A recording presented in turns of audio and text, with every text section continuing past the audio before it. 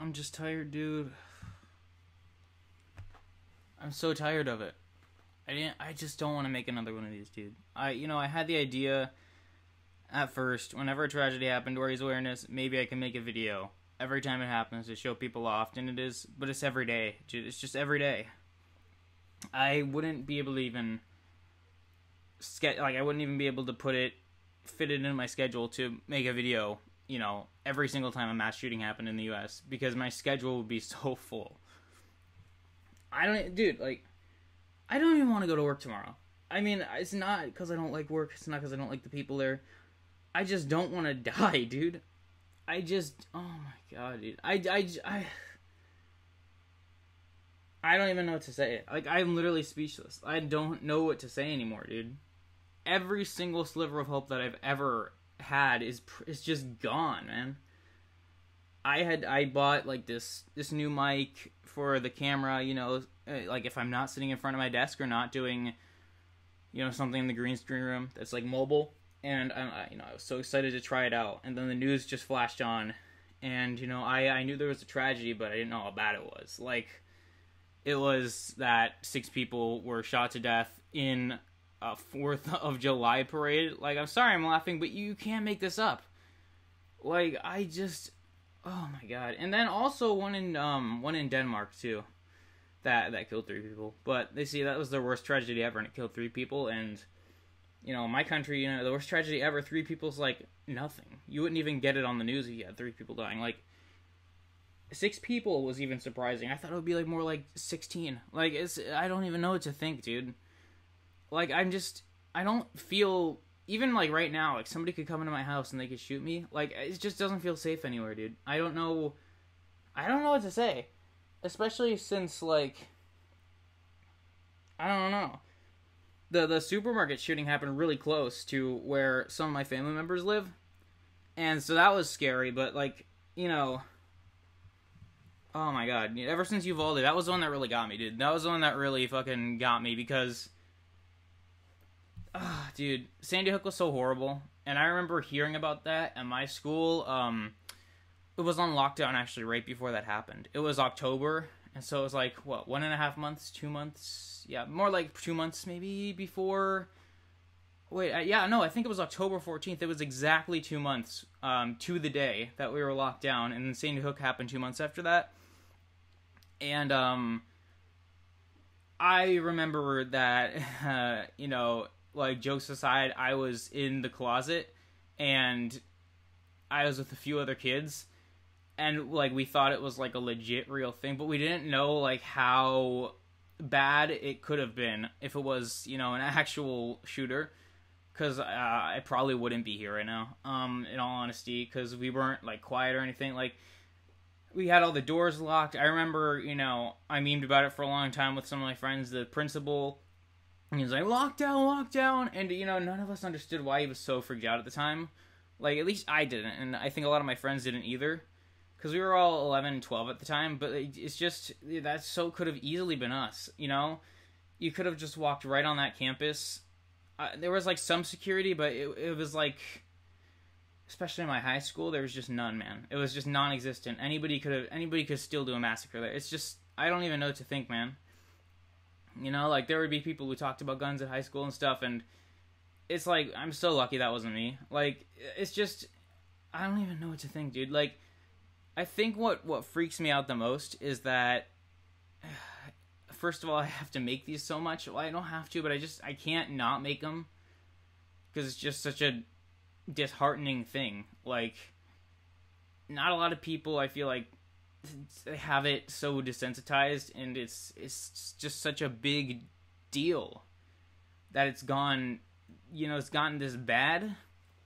But uh, what was I even gonna say? Like, there's just so many thoughts going through my mind right now of even like going back to work tomorrow. Like, I I I feel like quitting, dude. I don't even know if I'm safe anymore, but man, they like like they like me at work, and it's just like I don't want to just abandon them, and then I feel horrible if I left and then a shooting happened. But like it's just I don't know what to do, dude. I I don't even know. Like it's just it doesn't feel like we're living in a real world anymore. It, it's sort of it feels like not even a movie would have this much like bad stuff happening, you know, like but oh, I remember what I was gonna say. Yeah, like I remember we were um everybody else was actually ushered to a different place than my class, so my class was literally just alone on uh the first story of the school. Nobody else was there. I think everybody else, like all the other classrooms, had to run down and evacuate, or not evacuate, but they had to go down to the basement and they were like locked in this freezing, you know, dark room for like several hours. And uh, I don't even know what to think, dude, because, you know, if people were like running out and running down, and realistically, if the shooter was already there, they would all be dead probably. So it's just, I don't know what to do, dude. I don't really, like, there's not anywhere safe anymore. Like, I, I remember after I was hearing about that on the news, I asked my aunt I was like, would you like if your daughter was, you know, say like younger in high school, like preschool or middle school, anything like that, like K through twelve or maybe even high school, like would she? Or wait, high school isn't K through twelve. Sorry, uh, K through twelve or even in college, like would she feel safe sending her daughter to a public school? And she said, no, absolutely not. And that was like coming from somebody who's such an optimist who who worked out you know, like she worked at a school for troubled children. It's just like those children look like saints now.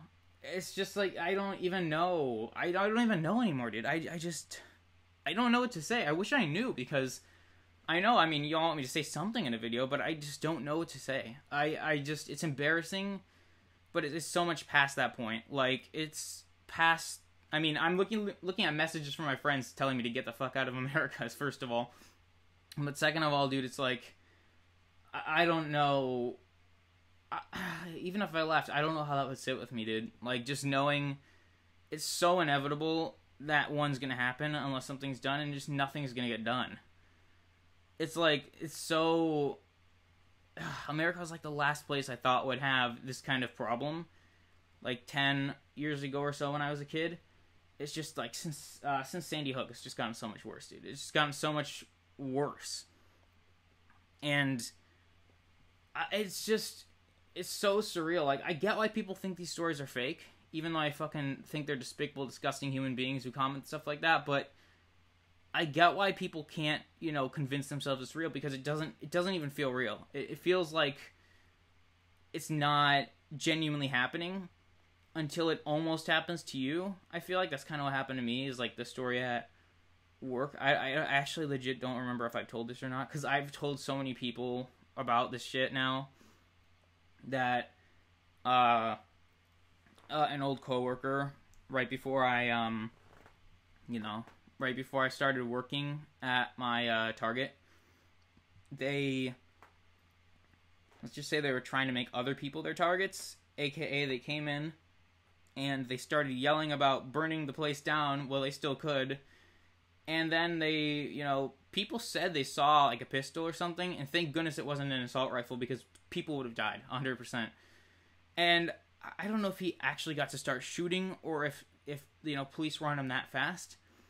But even even the what's it the store um, security guards were fucking cowering. They were hiding under tables and stuff. So in a way, I'm glad that happened because it shows you can arm somebody and they still they still are scared to death even if they're not outgunned or anything it's just like you don't we're not programmed to walk towards somebody who is very dangerous and could potentially end our lives in like less than a couple of seconds less than a second i'd say uh, so it's just i don't i i've actually you know i've looked up what it takes to get into canada and stuff like that and i'm scared because i don't know if i have what it takes i i just don't I don't want to work anywhere in the U.S. anymore. You know, after this especially, because it's just the last straw, dude. Like there was no shootings for like a week, and that was such a miracle, right?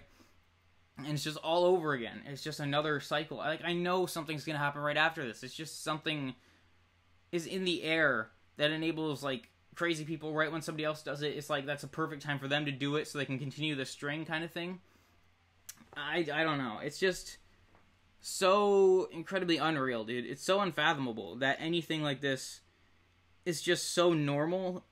It's it's like living in the Middle East. Like, and I think the Middle East, I'm sorry if I insulted anybody who's from the Middle East, right? because I, I think their kids at schools are safer than ours are at school here.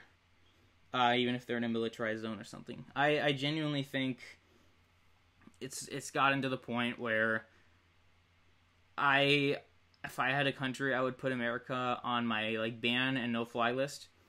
Um, because I wouldn't want any of my citizens dying in America to some idiot with a gun. Uh and and you know these people like a lot of them aren't even like dumb. They're actually really intelligent people. Like, they're intelligent human beings who know exactly how to act crazy so that people think they're not smart. Like a lot of these people are very smart. They're just very angry and they have the means to access these high powered assault rifles that can take people like in just mow down like a classroom of people or a, a store in like a couple of minutes.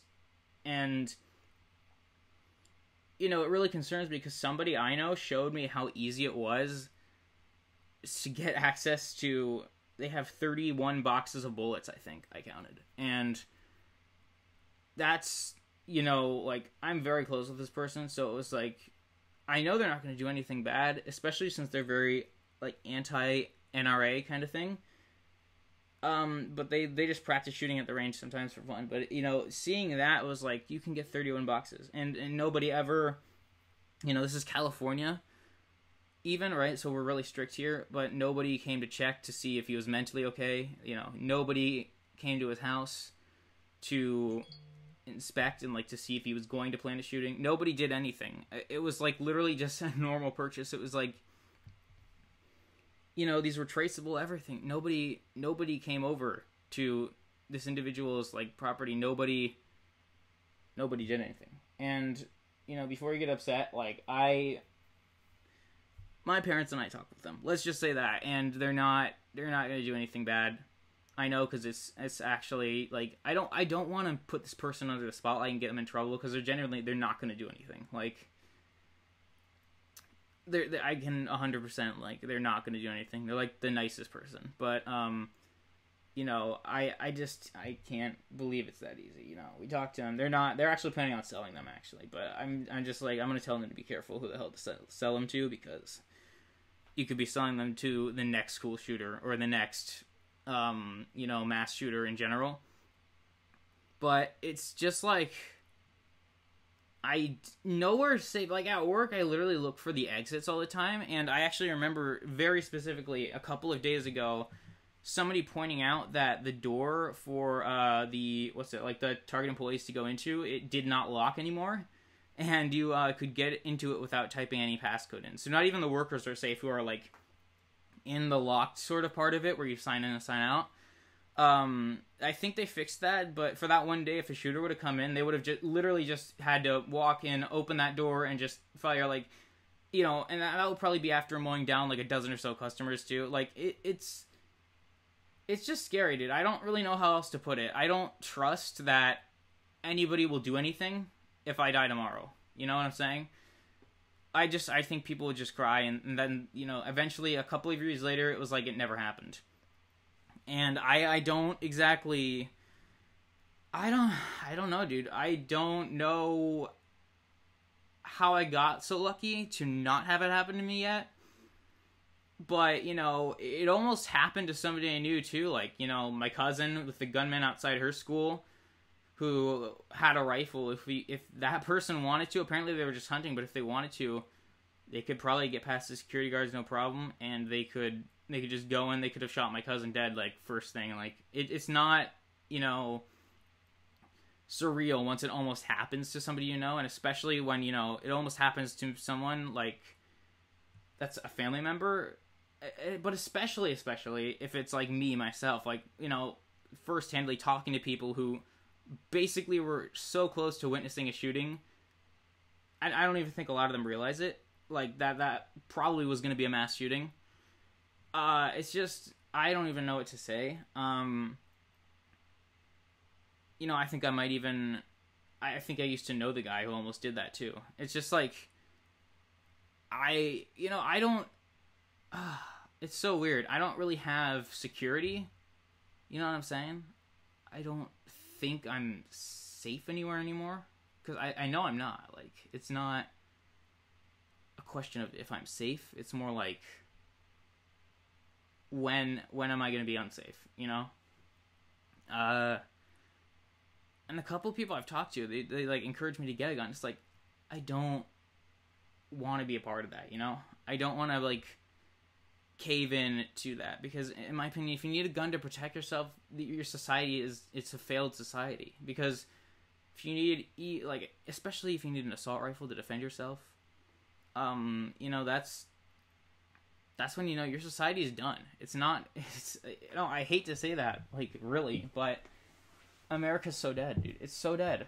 It's it's not you know it's not metaphorically even because like literally people are dead. Like by the time it hits next decade, I I wouldn't be surprised if every single holiday represents not only what it was originally meant to celebrate, but a mass shooting as well.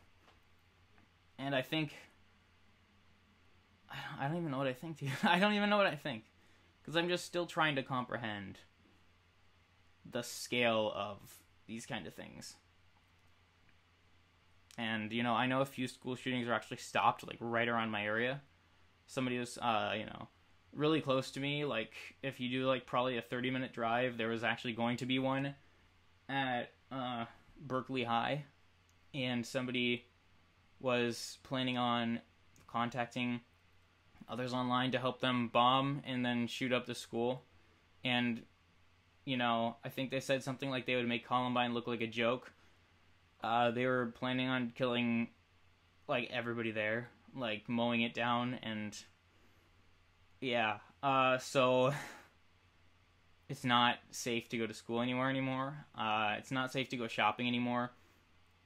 It's not even safe to go to work anymore. I don't think because of the there's a VTA transit shooting around me too that claimed lives of like 10 or 11 people. Might be 9. I don't know. Hopefully it's not double digits, but I, something tells me it might be. Um, and, you know, that guy was like disgruntled and hated his life. And so he went in, like, he shot like a ton of people. And then he shot himself before he could like be arrested or anything. Um, I don't, I don't know what to think, dude. I'm sorry this video's so long. I just don't, I don't know what to think because I, I can't concentrate on making videos at this point because it's hard it's hard to stay motivated at this kind of stage in the way the uh the world's working you know or uh, not working I, I should say I just, you know, it's like every day I go to work, I just feel like it's so inevitable that at least something really dangerous is going to happen. And you know, I've seen people like throwing stuff and all that, but that's not really what scares me that much. It's just that, you know, I don't think, I don't think a lot of people would be prepared if something bad happened, and, I mean they shouldn't, right? Because you, you shouldn't like always be expecting to like get hunted down, kind of thing. Um, you know, in my opinion, hunters should just get a different hobby entirely. I, I don't care. It's not worth it anymore, dude. It's not worth excusing having the guns around for hunting. Especially, you know, animals don't have guns to shoot back, dude. It's it's a pussy thing to do. You know, if if you needed it for food, then that's perfectly, you know, it's not moral, but you need to do what you need to do. But I think if it's if it's for uh, just for sport, it's not worth it, dude. It's not. It wasn't worth it, you know, to kill animals with, but especially isn't worth it to mow down kindergartners with, or you know, any any shoppers or just anywhere, dude. It's not worth it to have them around. And I'm like past the point of even being angry, and I'm just so uh, mentally just behind and tired. Hi. Stuff. Oh, thanks. There you go. Hi, Mom. You can try out your mic. Yep.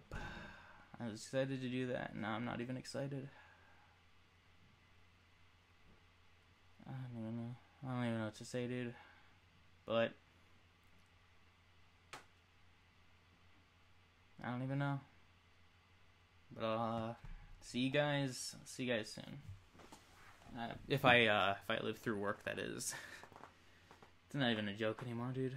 But uh, I don't know what to say, dude. I don't I don't know. Uh I'll see you around, I guess.